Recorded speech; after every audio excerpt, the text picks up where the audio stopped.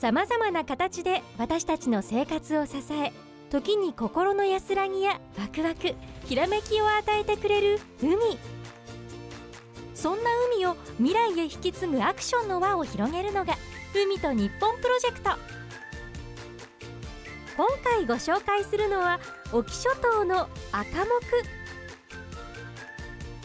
沖といえば岩牡蠣人工種苗発祥の地でもあり離島ならではの郷土料理が多く伝わる地域でもあります。赤木もその一つ。赤木は昆布ひじきわかめなどの仲間で海藻の一種。ぬめり成分が豊富でその食感が幅広い料理に使われています。その中でも汁物との相性は抜群。めっちゃうまいです。美味しい。以前は漁師さんたちの網や船のスクリューに引っかかるとあまり良いイメージがなかった赤目ですが近年は栄養の豊富さが見直され話題となっています。この切った断面から粘りが太い断っていって粘りが出てきます。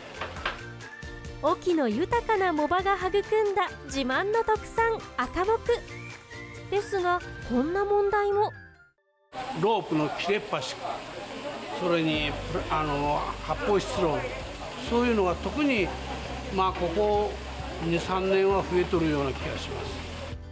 海洋環境の変化から赤目に有害物質が含まれていることもあり食卓に運ばれるまでに多くの工程を経て安全が守られています。甘辛い醤油で味付けられた魚のすき焼きへか焼きやしじみをはじめとする宍道湖湿鎮料理など島根には郷土料理がたくさん。郷土料理をずっと楽しむためにみんなで海を守りましょうね。海と日本。